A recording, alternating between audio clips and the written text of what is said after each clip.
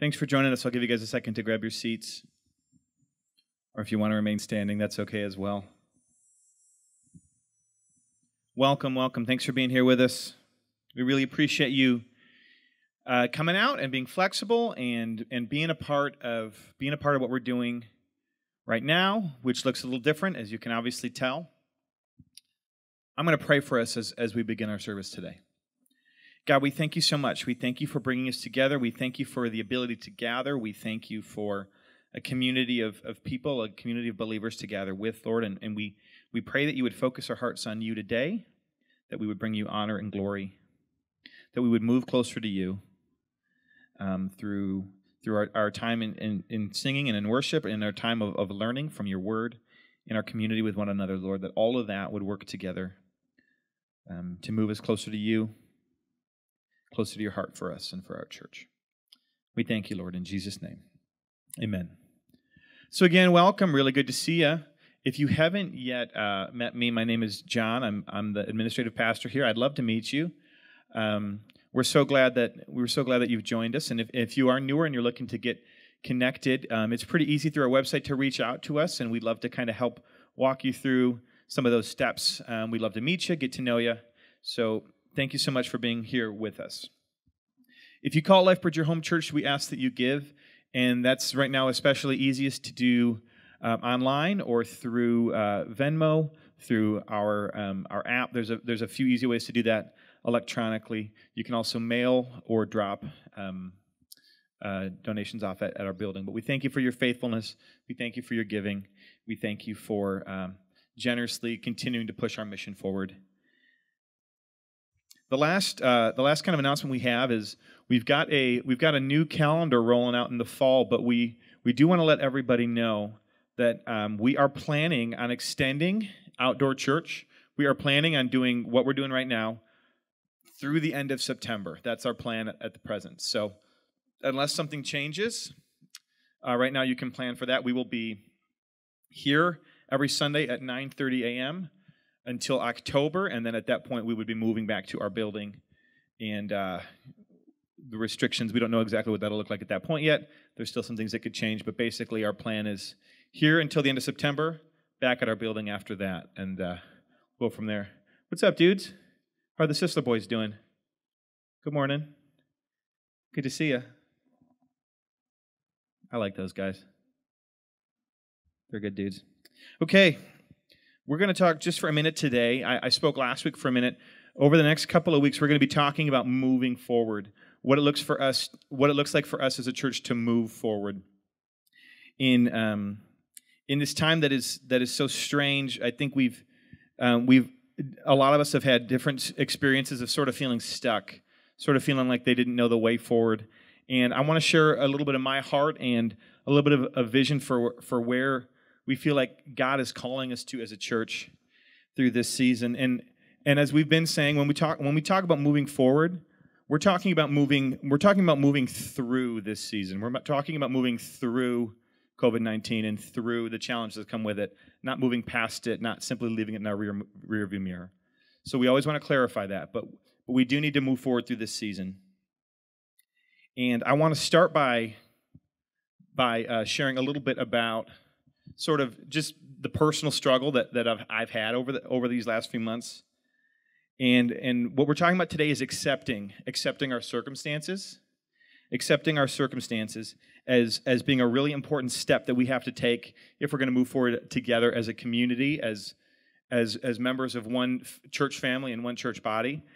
It's important that we accept our circumstances to do that. And for me, there was a time when um, there, there was a time um, during this pandemic, and you guys might be totally aware of this just based on like talking to me, but um, it was really hard for me. It was a, what was maybe the hardest thing for me as a, as a pastor is I'm generally the guy. If you ask me like, where do you want to be in five years? What's the future hold? Any sort of big picture question, I generally have answers for those questions.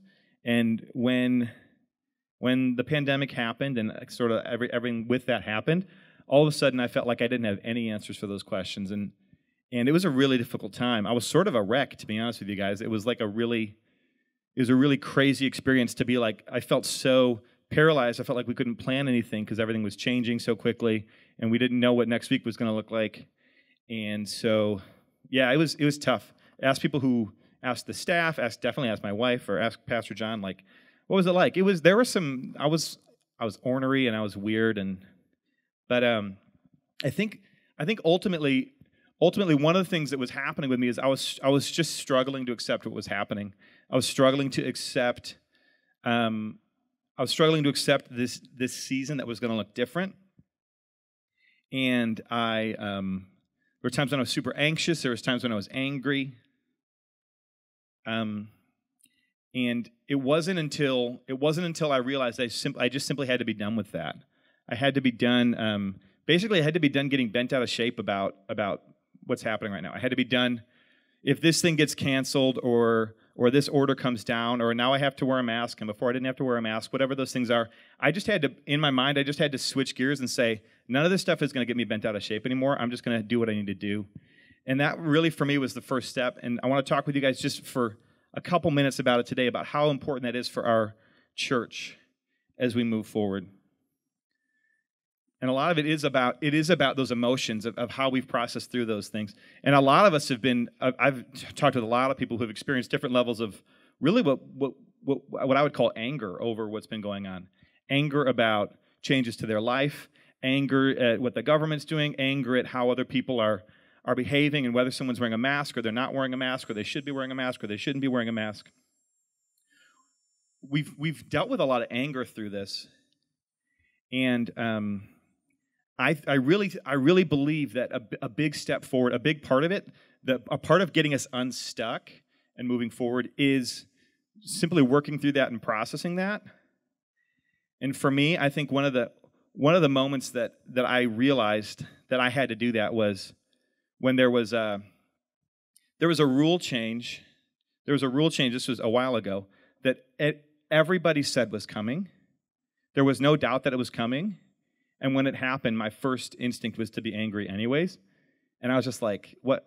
I could have prepared. I should have been prepared for this in my heart and in my emotions because I knew it was coming. But I think everything was so raw, and and I was still angry. And that was that was a moment that made me realize, like, look, I need to I need to I need to prepare myself better and I need to accept what's going on right now because I can't be angry for the next I can't be angry for the next 6 months or 8 months or a year or whatever it is. So as a church, if um, if 6 months down the road, if 9 months down the road, if we're still angry, that's that's on us. It's not about our circumstances anymore. It's on us at that point. So I think that's a really big step for us. It's really important. It's time to be basically it's time to be done getting bent out of shape about it. It's time to just okay, whatever whatever happens, things are going to change. It's time to be flexible. It's time to extend grace.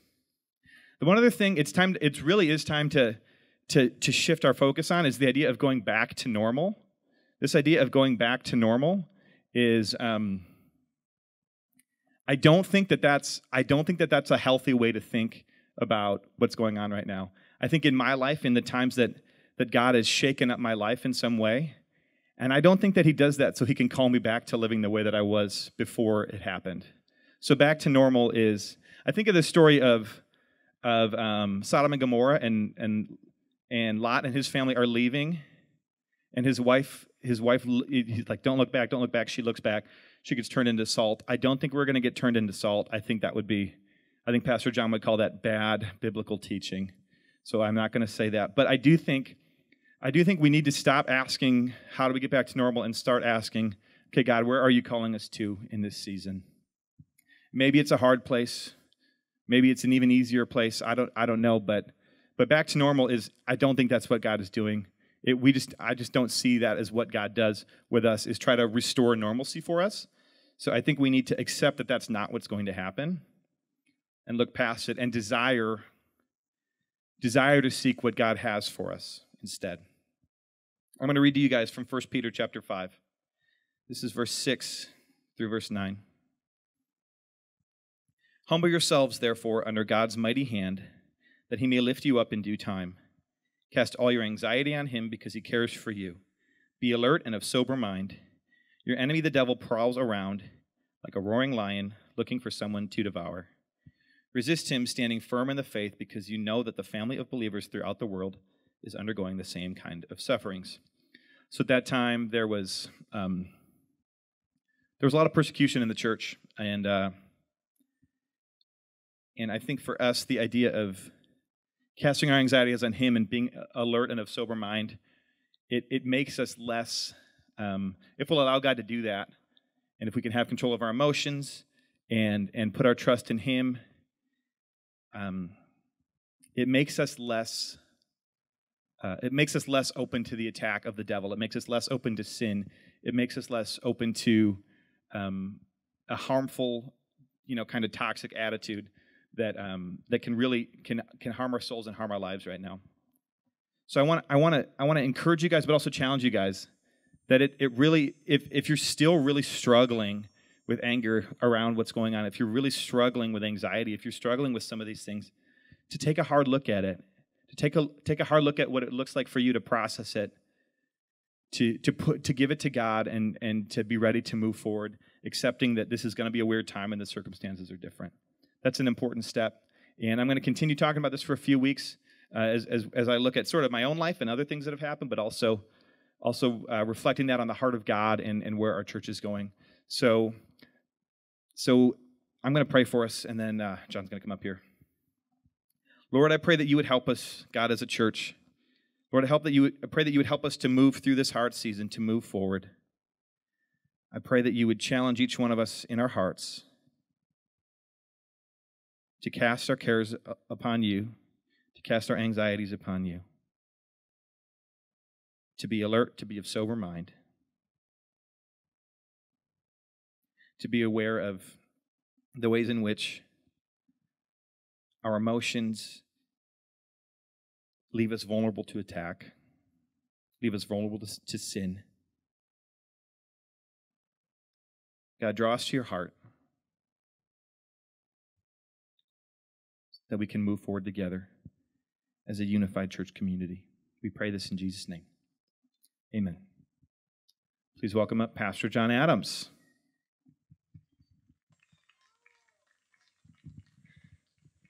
Thanks, John. Yeah, there was a time there where both of us were kind of just short, not like physically short, but just like short with each other, short with everything in life. And yeah, that was a rough time. But we are back. All right, hopefully this loads up, or else I'm going to have to figure something else out. Give me a second. Oh, went on the wrong network. Hmm. Savannah, can you bring my phone up here real quick? All right. So, what we've been doing over the last few weeks is going through the Psalms. We've been talking about developing this inner life with Christ and how how we can meditate on God's word, meditate on the important things of Scripture and faith. Thanks, Ellie. Um, and just develop this inner life. That is one of the biggest encouragements that I can give to you uh, in this time, and that will, I think, help you grow no matter what season we're in, but especially this season. That will help you grow in your faith and help you to stay constant through all of these turbulent times like this. Is having this inner life to lean on. Um, Last week we talked about making Jesus Lord of your life in every area of your life and surrendering those major areas to Him. Today we're going to talk about following God's Word, following God's law, uh, the moral imperatives of Scripture, of what Jesus calls us to. Um, we're going to be in Psalm 119, which is the longest psalm in the book, and it's all about uh, showing love for the law. Okay. Um, the law in our circles gets a lot of uh, bad press, we could say. Um, but Psalm 119 is all about showing it some love and just giving, loving the law that God had laid out for the people of Israel. Okay? And I know this is a foreign concept to us of loving law. Okay, we have to kind of zoom out a little bit and get a bigger picture because laws most often just feel like restrictions to our personal freedom that are unnecessary. Uh, but when we zoom out and think about it through this lens, when you read through Psalm 119, and of, and of course things are different. We're not a theocracy today. We're not uh, under our, our whole nation is not in the sense of Israel in the same ruled by God like that. I, we get that. We can parse that out um, at another time.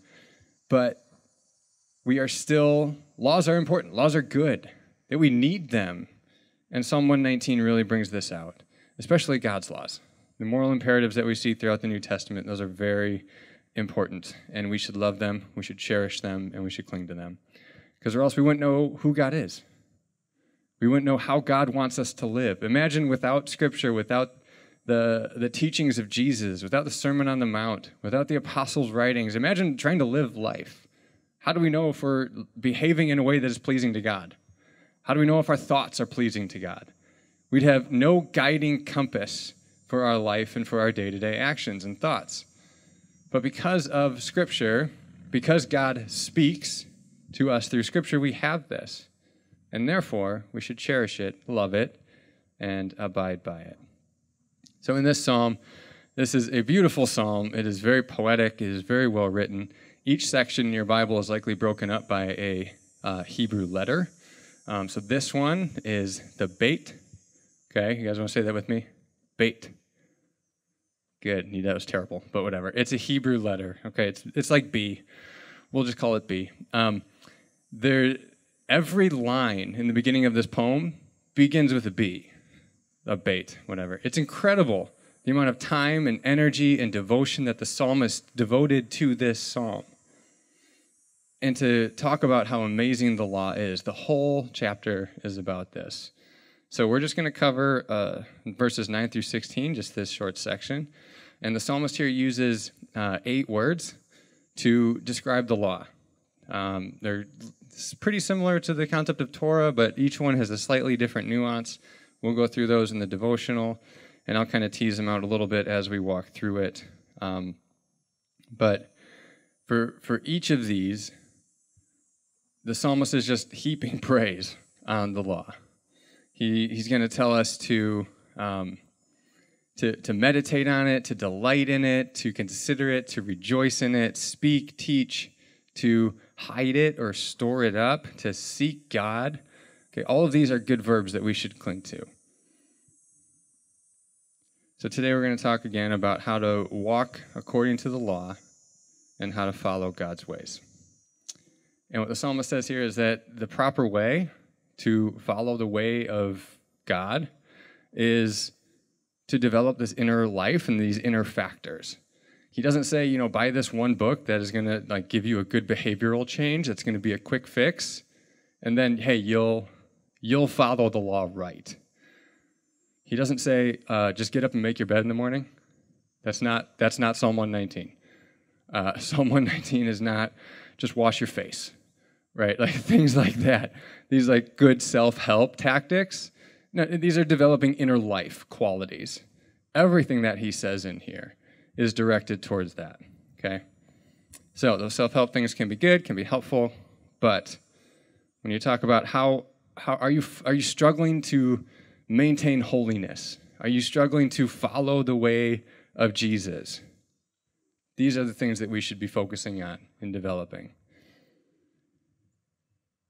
So, Psalm 119, verses 9 through 16. We're just going to read it. We're going to go through it pretty quickly. And then uh, we're going to sing together for a little bit. I'll come up and apply it. Uh, we're going to take communion today. So, if I forget to say it later, if you're not comfortable taking communion right now, we totally get it. We prepared it with as much um, safety and precaution as we could. Um, they're all spaced out on the tables up here, so you can come and take one. Um, but if you're not comfortable, we get it. We totally understand. So, Psalm 119, starting in verse 9. Psalmist writes, How can a young person stay on the path of purity? So, first, he calls us to the, the, the, the youth aspect of life, that time in life when it's often tumultuous, it's often difficult to stay on this path of purity. Temptation tends to pull you in any and every direction in your youth. And he says, How can a, this young person in this difficult time of life stay on the path of purity? Purity is not just referring to the type of purity that we tend to think about, of like purity culture. It's referring to holiness. It's referring to just living a righteous life before God. The psalmist answer is very simple in theory and difficult in practice. He says, by living according to your word. Word refers to everything God has spoken, the, the law of the Old Testament, the promises to Abraham, everything that God has spoken, everything that God has said, living your life according to the Word of God. So, the Word of God is the guiding factor, the authoritative book, the principle that we build our entire life upon in our actions. We primarily see that in Scripture. Now he's going to tease out what does this mean? What does it mean to live according to God's word? And as I already said, it's developing this inner life with God. He says, I seek you with all of my heart. Heart here is like the seat of the, the emotions, but it can refer to just like the entire being, the entire person. So he's, he's saying, I'm seeking God with all that I am. Do not let me stray from your commands commands here, are the practical application of God's word do this, don't do this. And he says, I have hidden your word in my heart. The verb hidden can also mean like store up. It's like cherishing something that is precious. And word here, it, it implies the promises of God. Okay, so he says, I've hidden your word in my heart that I might not sin against you. So I've always read, I'll go through this in the devotion more, but I've always kind of read this as like memorizing specific scriptures to help me not sin. But I think the sense that the psalmist is getting at here is pay attention to the promises of God. That God has promised to remain faithful in his covenant no matter what. And despite your sin, that he will be faithful to you. And when you look at the beauty of that covenant promise, how could you then sin and betray him.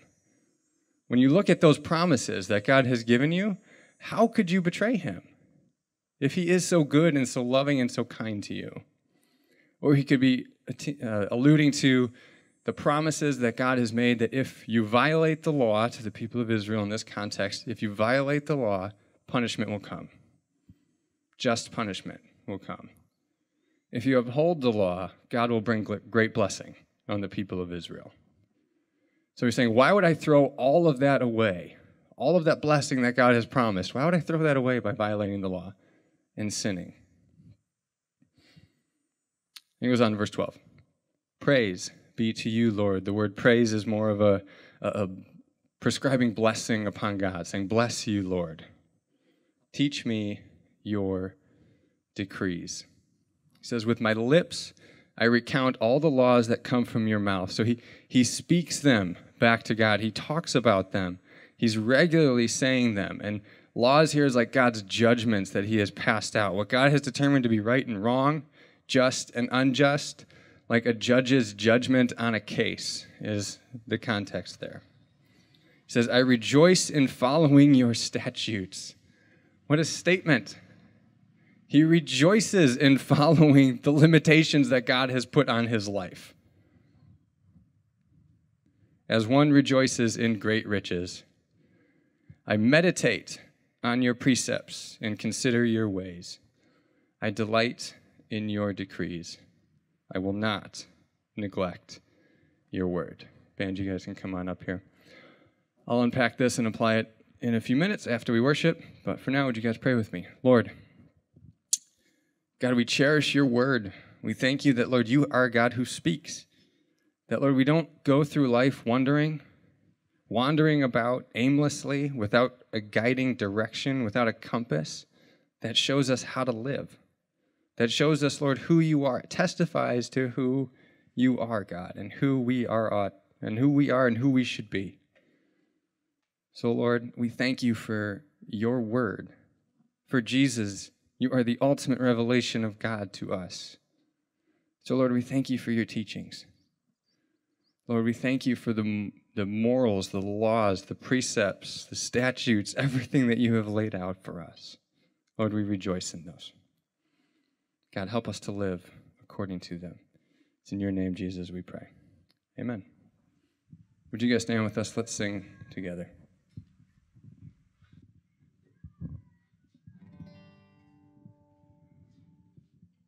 If you want to sing along with us, and I hope you do, um, you can open up uh, lifebridge.church in your browser, and right there you can find all the song lyrics and, and sing along with us today.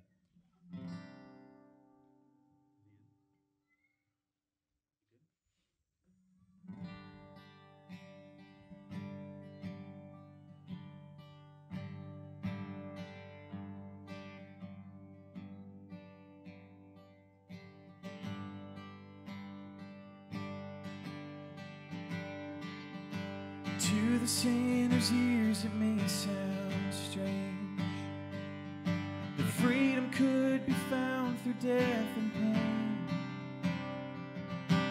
Why sinless perfection took the blame, but hallelujah.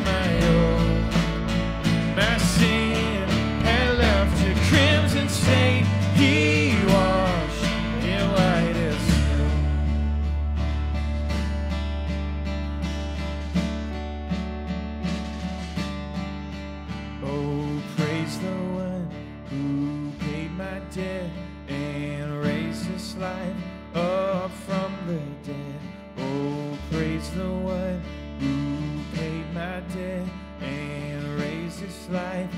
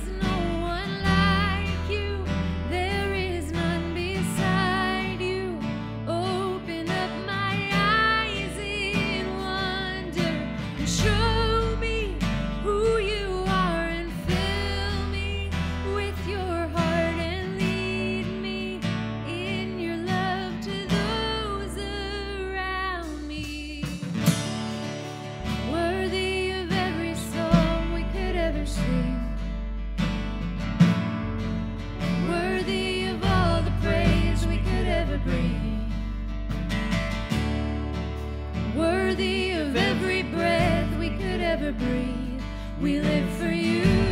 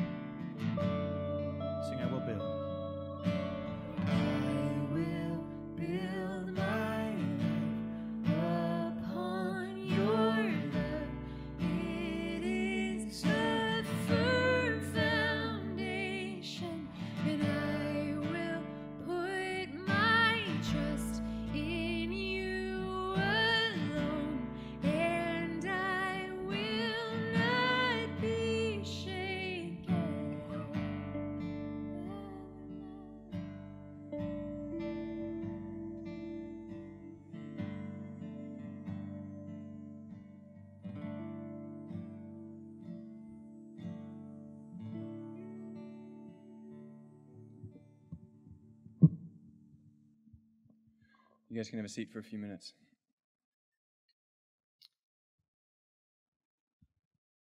So, in Psalm 119, what the psalmist is talking about is his love and his devotion for God's word through the Old Testament, for God's law that he gave to Moses.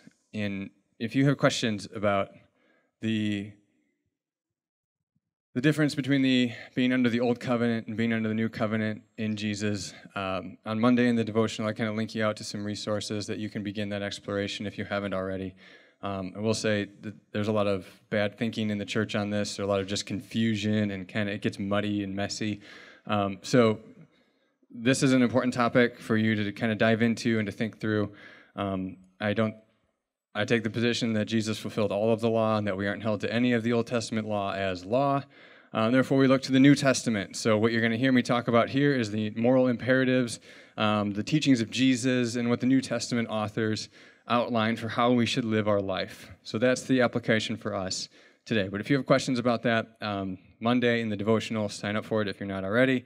We'll go through it in greater detail so you can kind of explore that and get on that topic. Um, our big idea from the text is to pursue holiness by living according to God's word. Pursue holiness by living according to God's word.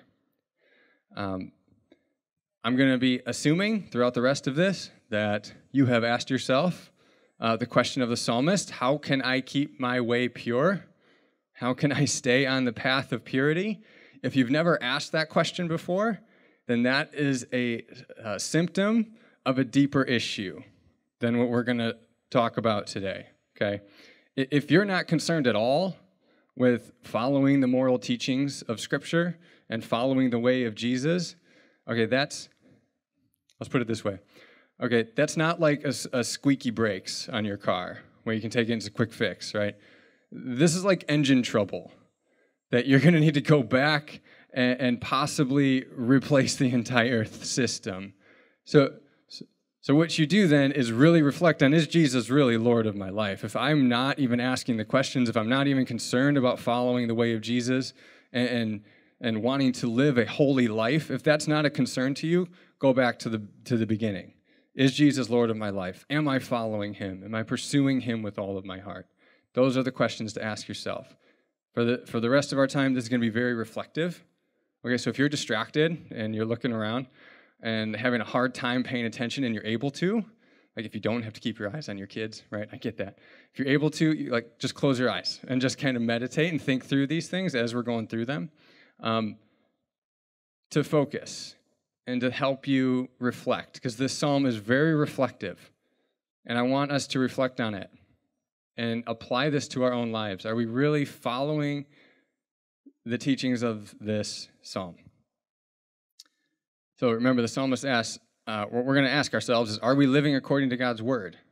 And he outlines for us how we can evaluate this and some commitments that we should make to live according to God's word.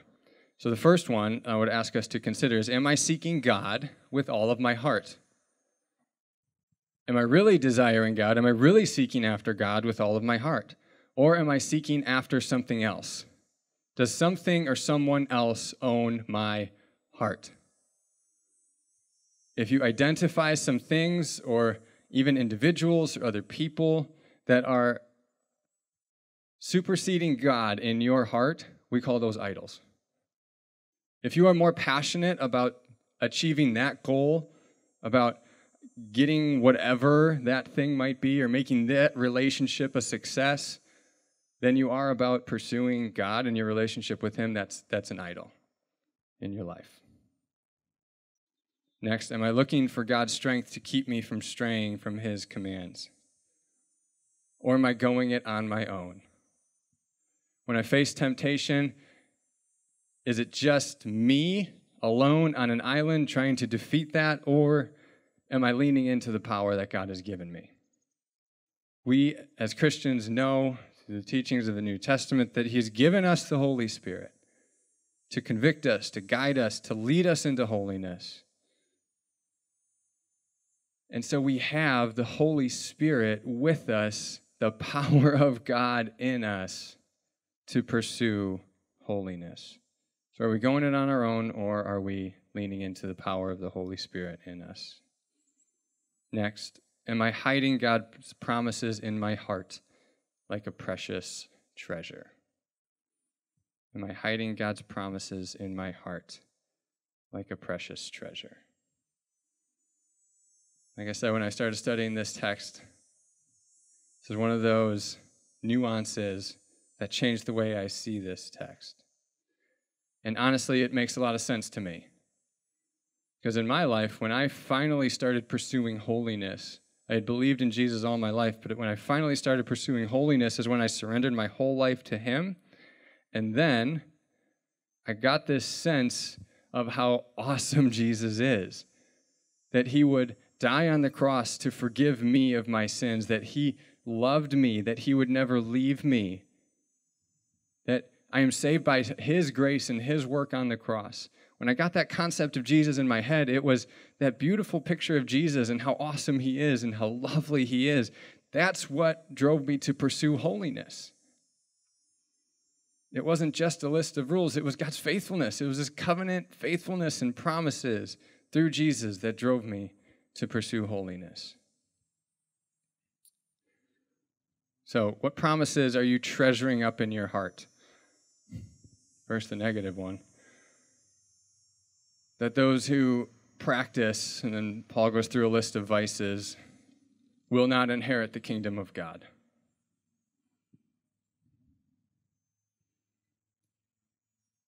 The promise that you are saved by grace, not by your works, so that no one can boast. The promise that you are a new creation, that the old is gone, the new has come. If you're tore up with guilt about your former life, that there is no condemnation for those who are in Christ Jesus. The promise that Jesus gave us that his yoke is easy and his burden is light. That he is making all things new.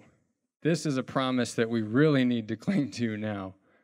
That Jesus in his kingdom, he is making all things new.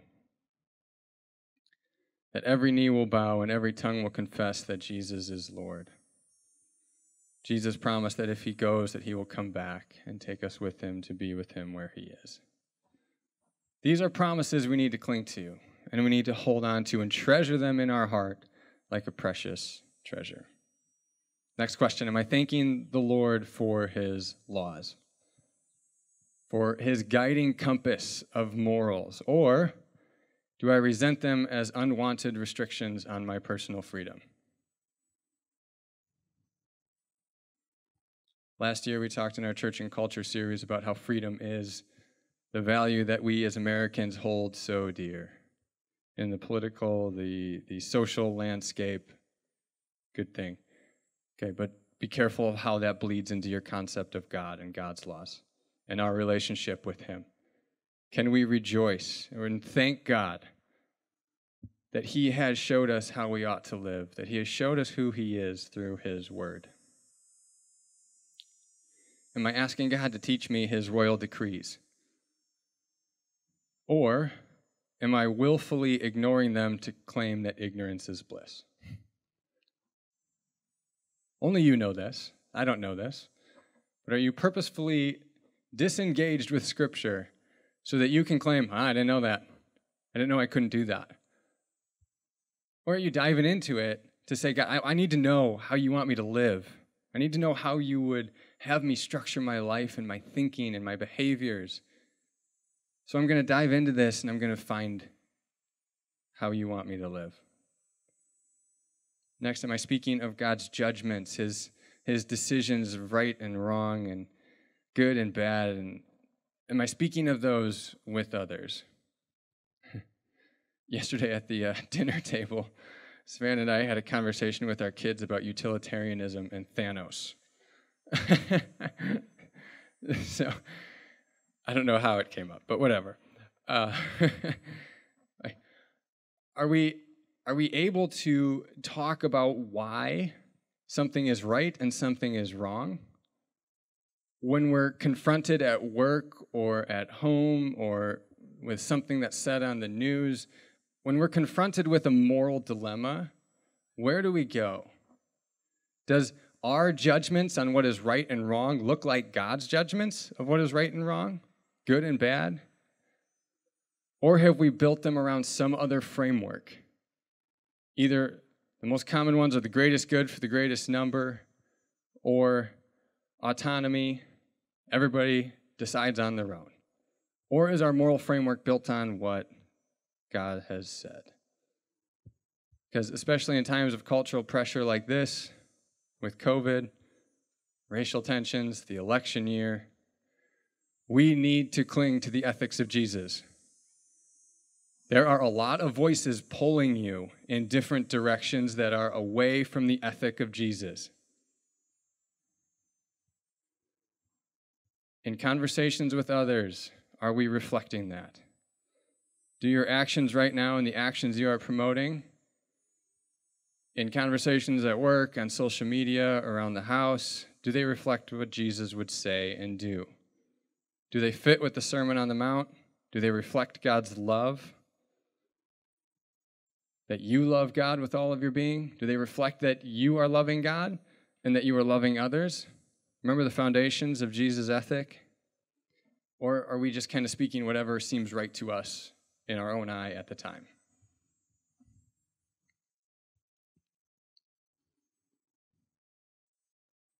Am I rejoicing in following God's statutes, which testify to his character, like I rejoice in great wealth? I remember when my dad sold the farm. Like, remember the first time you got a large chunk of money? Okay, when you were a kid, think about that. Like, I think I was like 10, I don't even remember. But when my dad gave me a $100 bill after he sold the farm, kids, a 100 bucks. What?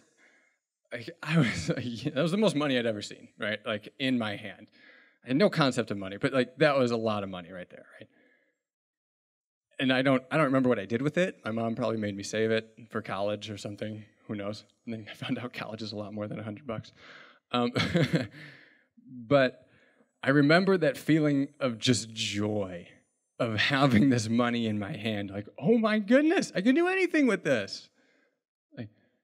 Imagine that joy. Think of that that euphoria that you would feel when you came into a large amount of money. And that's the concept that the psalmist is getting at. Like, we should feel that joy in following God's law. Because we're acting like God. Be holy as I am holy, as scripture says, right? When we are acting in holiness, we're acting like God, and that should produce joy in us. Then am I meditating on even the smallest details of Jesus' way so I don't miss anything? This is a big one today. Am I meditating on Jesus' way or something else?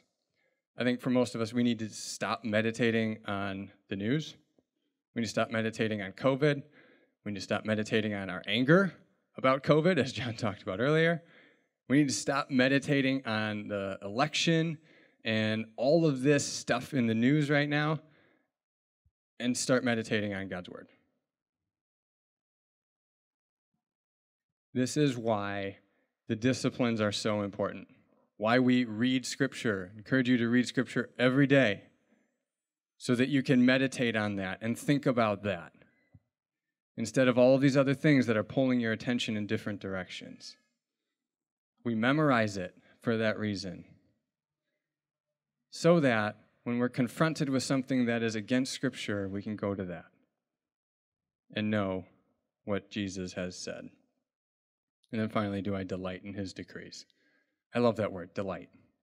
You just take delight in Jesus' decrees and in the way that he has called us to live. So these are all commitment statements. Okay, you can find them in the notes on on the website. You can find them there. You can find them in the devotional on Friday. You can just read the text. These are commitments that the psalmist is making, saying, I will do these things. So as not to be overbearing on you, if there was one that really stuck out at you as we were going through this, perhaps it was rejoicing in his law, speaking of God's judgments with others, meditating on his word. One of those that just stuck out to you, I want you to commit to doing that. Commit to that for this week and see how you feel.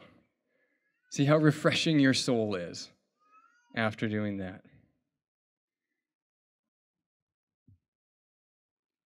We're going to go into a time of communion now. Again, if you're not comfortable taking communion, we totally under- understand.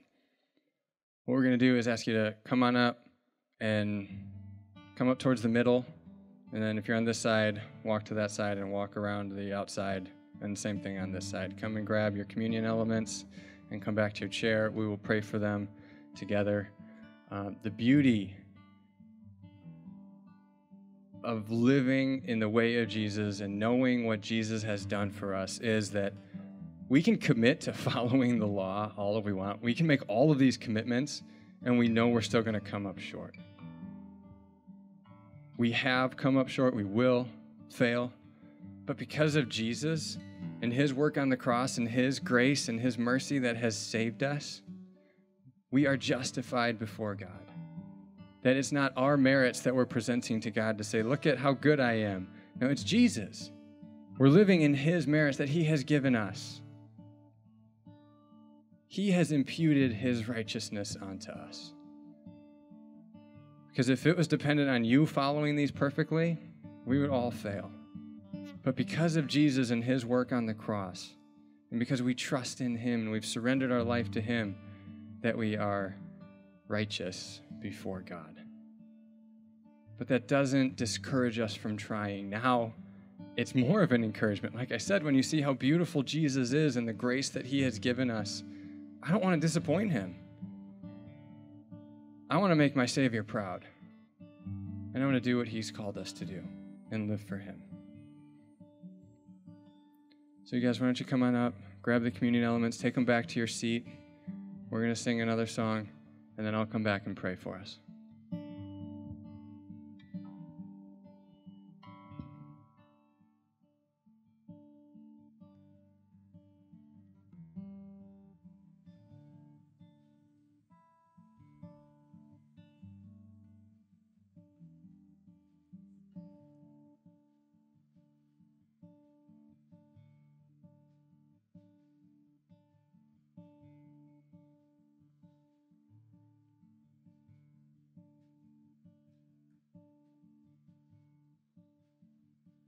The life you gave. Your body was broken, your love poured out. You bled and you died for me there on the cross. You breathed your last as you were crucified. You gave it all Hallelujah, what a Savior. Hallelujah, what a friend. Hallelujah, King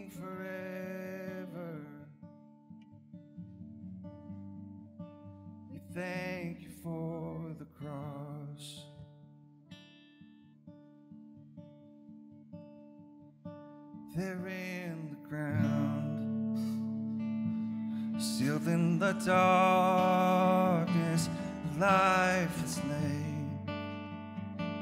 The frame of the Father, Son, in agony.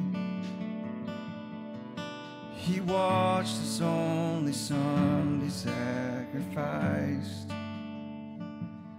He gave it all for me.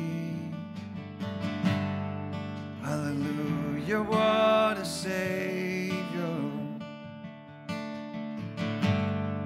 Hallelujah, what a friend. Hallelujah, King forever. We thank you for the cross.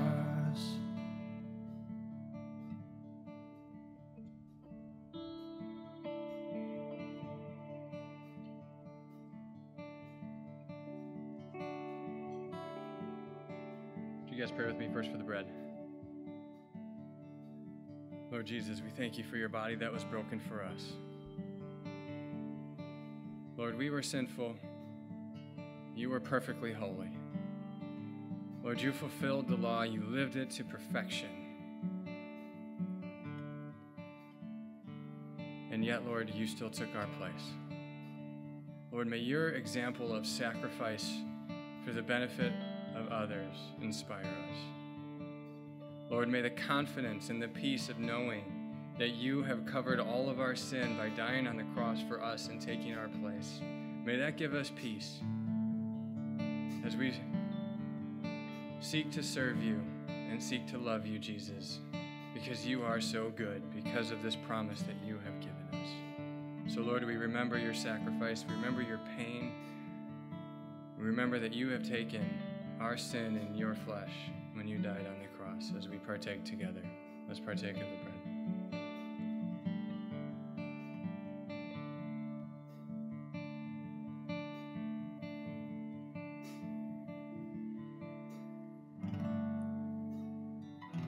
Would you pray with me for the cup as well? Lord Jesus, we thank you for your blood that was shed for us, your blood that has established, established this new covenant with us, Lord.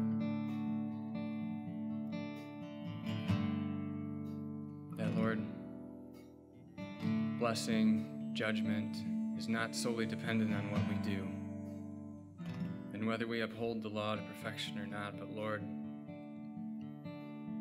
it is based in our identity with you, our faith in you, Lord, our trust in you, Jesus, that you have washed away our sin, that you have cleansed us from all unrighteousness. And so, Lord, we strive to be holy before you, knowing that you have taken our sin on the cross and you have washed us clean. We love you, Jesus. We remember your sacrifice as we partake together. Let's partake of the cup.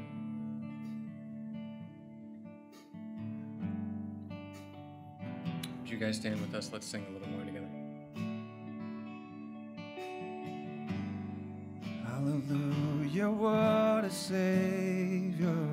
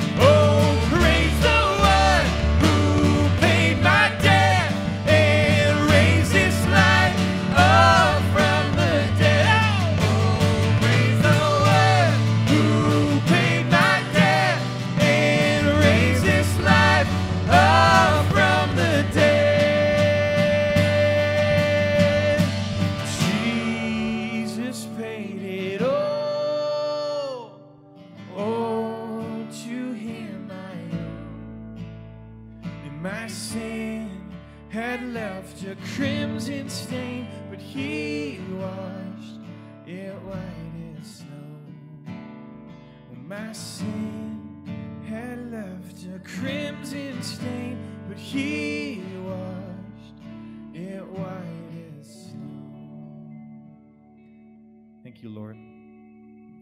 We thank you for Jesus. We really do owe it all to you, Jesus. You are the fulfillment of the law. God, help us to walk in your precepts, to be guided by you, to make you Lord of us life, of our life, in a way that actually changes our life. We thank you, Jesus. Amen. Thank you guys so much for worshiping with us. You have a great afternoon.